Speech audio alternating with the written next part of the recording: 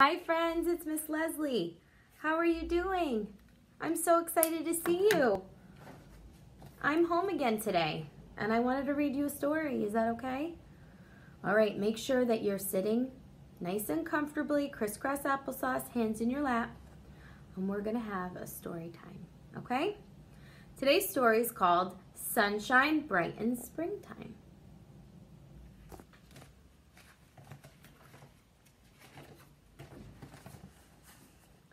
Sunshine spreads across the lake. Sunshine warms us when we wake.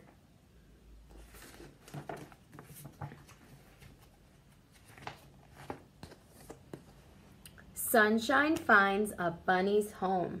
Sunshine heats an ice cream cone. Can you see what happened to that ice cream cone? Uh-oh, it melted.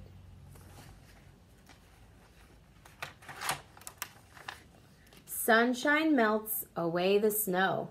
Sunshine helps the garden grow. Sunshine makes shadow flowers. Sunshine shadows grow each hour.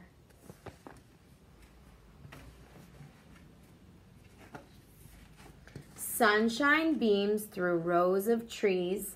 Sunshine sparkles on the leaves.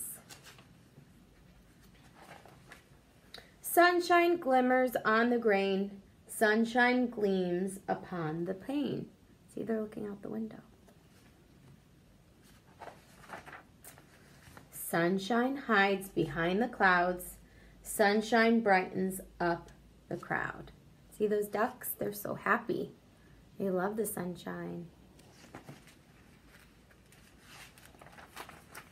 Sunshine follows April showers.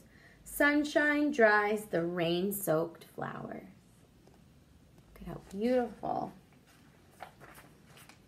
Sunshine warms each afternoon, and sunshine glows upon the moon.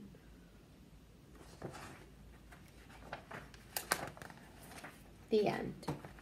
Very nice. So this story is about the sunshine and why it's so important in the springtime and what it does for everyone in our earth. Do you see that sunshine starts with the letter S? And so does springtime. Springtime's our new season.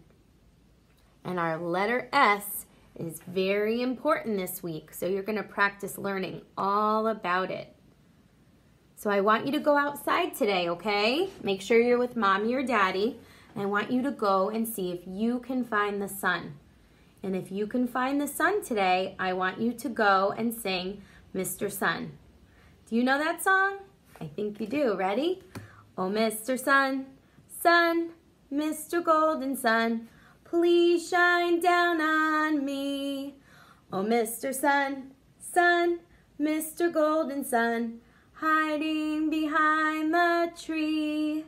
These little children are asking you to please come out so we can play with you. Oh, Mr. Sun, Sun, Mr. Golden Sun, please shine down on me. Sometimes sun hides behind clouds, so wait till you can see it, all right? Have a wonderful day and I'll see you tomorrow. Bye.